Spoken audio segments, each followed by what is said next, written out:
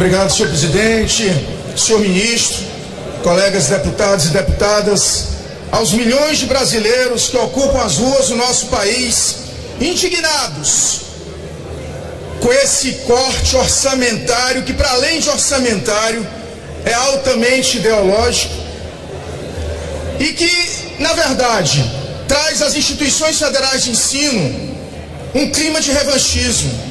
Porque quando se contingencia, e é normal em vários governos contingenciar, o anúncio é feito num clima de muita tristeza, de constrangimento. Mas o ministro estava se regozijando ao dizer que, para além das três universidades acusadas de balbúrdia, ele ia cortar em todas as instituições federais. E aí, senhor ministro, o senhor que vinha dar uma aula, já escutei três vezes o senhor dizendo: 2 mais 2 é igual a 4. Acho que pelo menos todos aqui sabem disso. Afinal, essa é a aula que o senhor nos dá para dizer que foi 3,5 o contingenciamento, o que é uma mentira. Porque eu vou lhe dar um exemplo: Universidade Federal do Cariri, 11 milhões 931 mil reais de verbas de custeio, mais 6 milhões 915 de investimento, dá 18,84 milhões de contingenciamento de uma dotação inicial de 40,18. 3,5 daria 1,4 milhão, ministro. Depois o senhor calcula aí.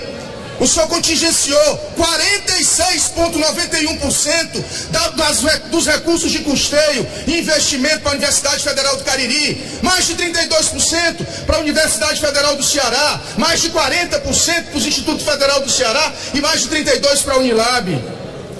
Senhor presidente, senhor ministro, eu queria aqui dizer que é uma inverdade dizer que os governos do PT, e eu não sou do PT, reduziram levar a educação a patamares de dificuldade, porque subiu de 33 bilhões em 2003 para 51 bi em 2010 e 110 bi em 2016, o orçamento da educação.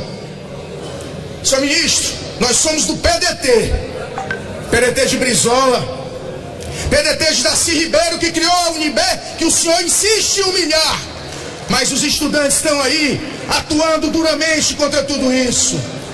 Sou do PDT do CIEPS, que o senhor disse que a educação em tempo integral tem caído porque tem colocado menos dinheiro, é lógico. A sua preocupação quando falou, por exemplo, no FIES, era que os alunos estão em alto índice de inadimplência, afinal, o senhor defende a sua origem, é do sistema financeiro. Na área da educação, senhor ministro, nós somos do PDT e a educação, e a crise na educação não é uma crise, para o senhor, é um projeto.